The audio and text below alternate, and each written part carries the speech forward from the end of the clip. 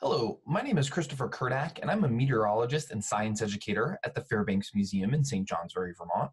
I also really enjoy doing homestead activities such as farming and gardening. I've raised lambs, goats, sheep, as well as some um, ducks, as well as rabbits before. And I did a, a first video a couple weeks ago on kind of how to get your backyard poultry operation up and going. Today, I'm going to go over some points that I made a couple weeks ago, as well as take us on outside and have us check out my operation and show you what works for me. But a couple weeks ago, I did touch base on kind of what you needed to do to kind of get everything set if you were getting a backyard flock, maybe points to um, remember about, such as um, making sure you have a good shelter, water, and food. Those were the three major points, and I kind of elaborated on those. Um, also, kind of going at and debating on what type of poultry to get, whether it be ducks, geese, turkeys, or chickens, as well as what you're using the poultry for, whether it be for eggs or for meat. Um, so I do have a couple more suggestions. So I did have some more bits I wanted to put in this video before we went back on outside. But we're going to check out what works for me. And uh, I want to thank everyone for joining and hopefully everybody's been staying healthy. Another point I wanted to make is that you definitely need to get in a routine. I am a very regimented type of guy. I'm also very clean, and I think these carry over into why I have been successful with farming. I always make sure my operation is clean, but I'm never forgetful about my daily regimen. So that means every morning when I get up, I, I don't necessarily have to get up early to let them out, but whenever I get up, if it's a weekend, I can get up a little later, or if it's a weekday, I'm up early for work. and make sure I go out to the shelter, I open them up, I let them out, make sure they get fresh air and some sunlight, make sure they have the necessities such as water and food, make sure that their bedding is not too soiled. If it's a little soiled, again, I want to stretch the wood chips a little bit. That's fine. You know, they are chickens, um, but I want to make sure I'm in that daily routine. I come home after work pretty much as the sun sets. If your chickens or ducks are homed well, so that means they know where their home is, they're most likely going to go in there right around sunset or just after sunset. All I really have to do, same deal as I do in the mornings, make sure that they have food, they have water, take the door, close it on in there, and they're ready to go. And again, that's definitely you want to get in that routine um, to make sure that you are regimented every day. You do not want to forget to not let them out one day. Nothing bad would happen if you left them in day in, in the shelter for a day or two and they had plenty of room and food and water. 100% healthy spot to do, but as well as maybe if you forgot to put them in at night, that's a bigger issue because then they're more prone to predators. There's a whole bunch of different shelters. My shelter is just a four sided enclosed shelter.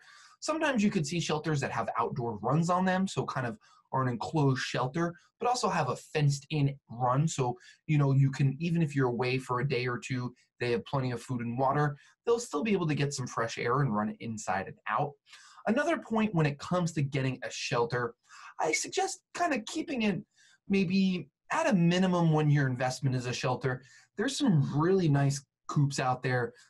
I call them like duck or chicken Taj Mahals that it can be well over a thousand dollars. And you know, that's really great, but if you got six chickens in a thousand dollar coop and you're trying to lay some have them lay some eggs, you gotta have them for a long time to kind of get your money's worth out of that shelter opposed to just going to the store and buying the eggs. So I suggest maybe using some scrap wood or as long as it's dry, not rotted, maybe some scrap wood or maybe some, you know, less expensive materials because at the end of the day, your poultry is going to be pooping in that shelter. It's not like it's going to be kind of in a good position where you know it's going to stay clean pristine so you know i get kind of taken aback when i see these thousand dollar shelters out there for six chickens and i'm like well, they're just going to poop it and ruin it anyway. So, again, I usually like to use some scrap wood or maybe use an older shelter and reconfigure that. You know, they don't have to look great. They just have to serve the purpose of, you know, keeping your ducks uh, or your chickens safe as well as dry, as well as a nice place to bed at night. You know, they're going to get dirty. They're going to go back in there. They're going to poop.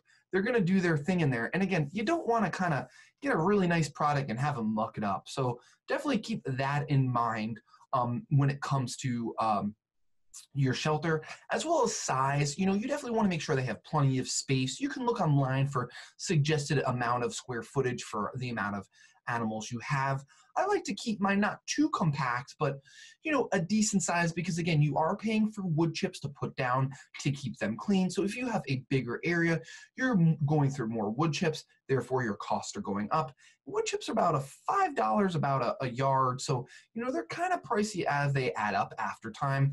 Usually, about I go through a bag or two of wood chip, about two bags of wood chips uh, a month. So you can see how quickly between you know the wood chips, the shelter, and the green, these expenses can add up. And again, you know, if you have the expendable income, go for it. Buy that nice Taj Mahal shelter.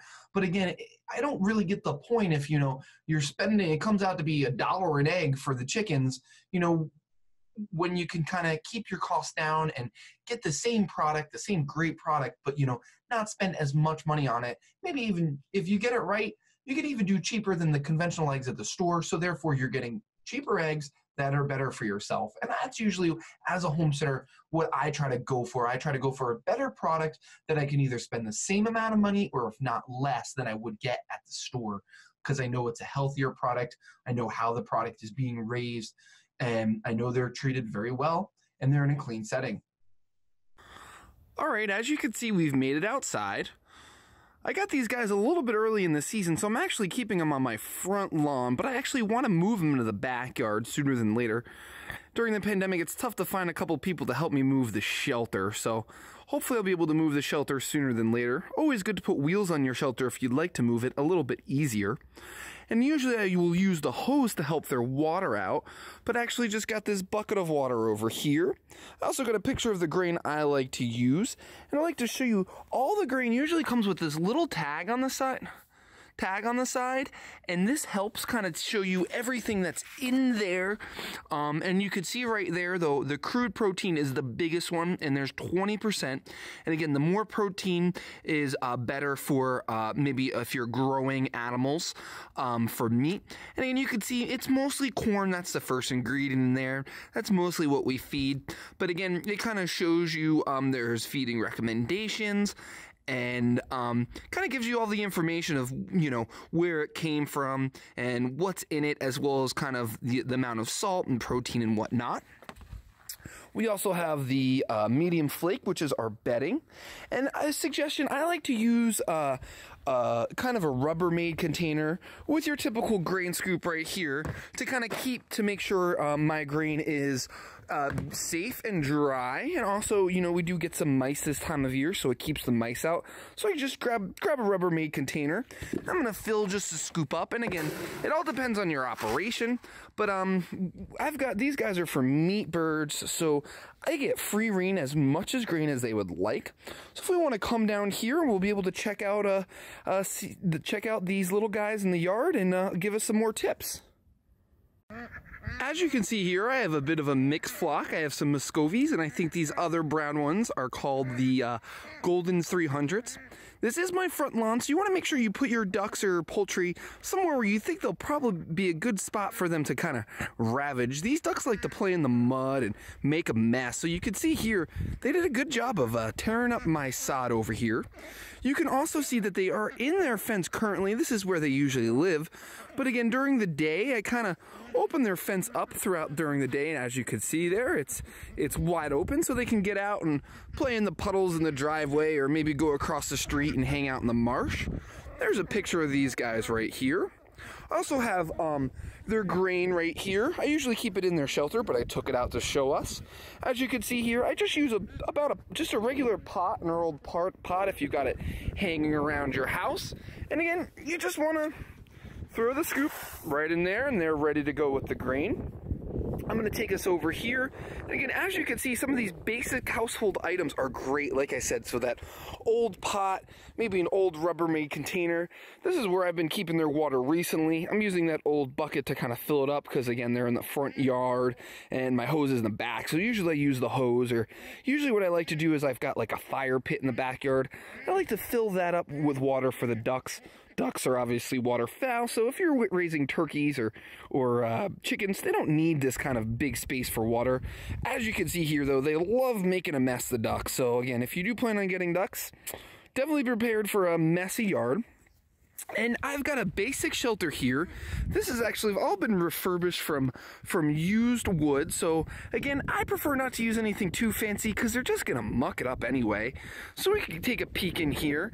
This the, the wood chips I changed a couple days ago, so they are a bit soiled. So I've got my regular stash of wood chips over here. I'm gonna freshen them up a little bit, and like I said, I like to kind of freshen them up every few days to make sure they've got a a good area to call home and again, usually every night they kind of hop right in there and uh, go right inside in their shelter at night, right around dusk.